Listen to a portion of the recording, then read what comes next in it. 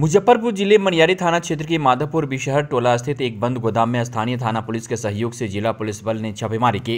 इस गोदाम से तीन कट्टा, एक पिस्टल बरामद हुई है। मनियारी थाना अध्यक्ष अजय पासवान ने इस कार्रवाई पर जिला पुलिस मुख्यालय को गुप्त सूचना मिली थी कि माधोपुर स्थित एक बंद गोदाम में देसी व विदेशी हथियार छिपाकर रखा गया है। इस सूचना के आधार पर वहाँ छापेमारी की गई। प्राथमिक दर्ज करने की प्रक्रिया की जा रही है। बताया जा रहा है की उस बंद गोदाम के पूर्व स्थानीय जनप्रतिनिधि हैं।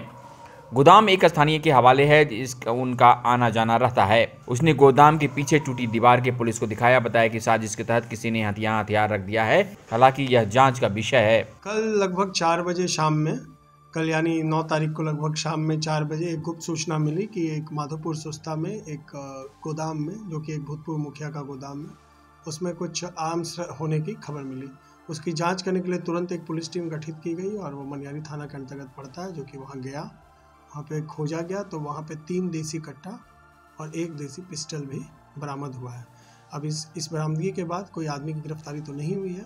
इस बरामदगी के बाद इस किसका था और क्या इसमें आगे एक्शन लिया जाएगा इस पे कार्रवाई चल रही है। Bureau report. देश विदेश की ताज़ा तरीन खबरों से अपडेट रहने के लिए आप हमारे चैनल को ज़रूर सब्सक्राइब करें और साथ ही बेल आइकन को भी ज़रूर दबाएँ ताकि सभी खबरों से आप और आपके जानने वाले रह सके अपडेट।